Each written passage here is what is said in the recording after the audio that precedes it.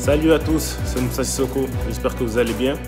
Voilà, j'ai décidé de faire une petite vidéo aujourd'hui par rapport à Europa City Cup 2018 qui est une très belle opportunité pour les jeunes footballeurs et footballeuses franciliens. En plus de cela, je suis le parrain, donc je suis fier car donner envie aux jeunes de voir plus haut et plus loin, c'est quelque chose qui me tient à cœur et c'est aussi une façon de montrer que j'oublie pas d'où je viens.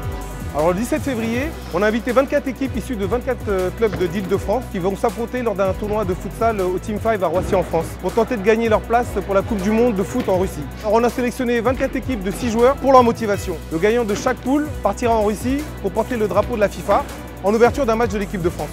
C'est une chance incroyable pour ces jeunes footballeurs de 12 à 17 ans de vivre le frisson de la Coupe du Monde. Au-delà de cette expérience, c'est aussi une façon de rappeler et de faire vivre à ces jeunes les valeurs du sport. L'esprit d'équipe, la dimension participative et le fair play seront d'ailleurs particulièrement valorisés lors de cette sélection. Ce sera un honneur euh, d'aller là-bas pour euh, se porter nos couleurs.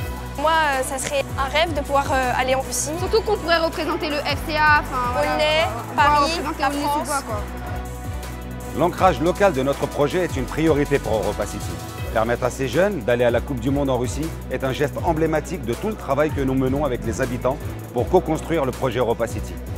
Demain, ce seront des emplois locaux et la possibilité de vivre l'expérience Europa City. Des loisirs, des spectacles internationaux, des équipements sportifs, des expositions culturelles et bien plus encore. C'est aussi pourquoi nous avons confié à Satellite, une association locale d'insertion par le sport, l'organisation de ce tournoi, l'Europa City Cup 2018. Nous avons la chance d'avoir comme parrain Moussa Sissoko, à la fois car c'est un grand joueur de football, mais aussi parce qu'il est un exemple pour de nombreux jeunes. Je vous donne rendez-vous le samedi 17 février. Je vous fais de gros bisous à tous et je vous dis à bientôt. Bye bye. On est prête et euh, on va essayer de gagner pour toi et voilà.